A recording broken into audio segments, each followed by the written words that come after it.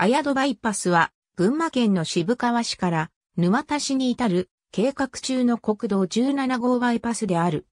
現在の路線が川に沿った急峻な地形のため、落石の危険やカーブでの事故の危険性が高く、安全確保が必要であるため計画された。現在、調査、設計段階で共用区間はない。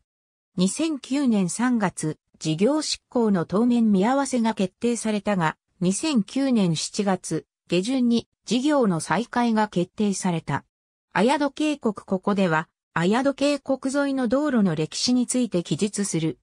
現在の綾戸水道の利根川側に、高下3年7月、沼田の金剛院住職、甲船が原能を使い岩盤をくり抜いて、鉄道と呼ばれる水道を作った。この水道は延長が17メートル、幅が2.4メートル、高さが2.4メートルと人が通れる程度の大きさであった。明治になり高崎、長岡間の清水振動工事が幅6.36メートルでできたが、これにより、綾戸渓谷の鉄道を通らず白井より桜木から利根川を渡り、棚下を経由し、利根川を渡るルートに変更された。その後再び鉄道ルートをたどる道が整備され、鉄道の山側に綾戸水道が完成、1km 渋川寄りに、綾桜水道と綾桜橋が1901年10月に開通した。1961年、沼田ダムなどの将来構想に対応し、綾戸、綾桜道路1320メートルの原道拡幅が計画された。工事は1962年8月、綾戸側から着手し原道の交通を確保しながら行われた。一車線分の福音であった、綾桜水道は開削され切り止めに三段の擁壁が施行された。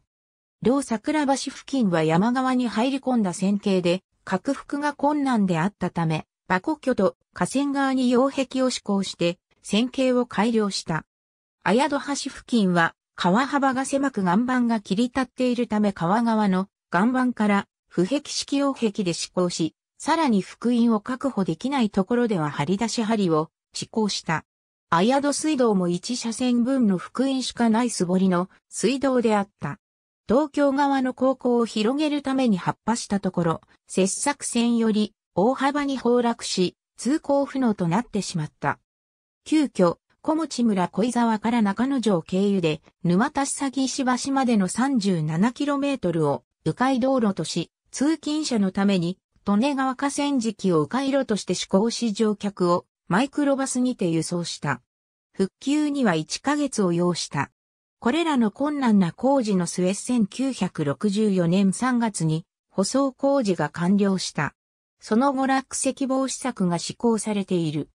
1992年には、綾戸地区の落石災害の解消、線形不良、死去確保のために延長 2.3km の綾戸バイパスが新たに計画され事業化された。群馬県道255号下久や渋川線とのアクセスなどを検討しながら現在設計を行っている。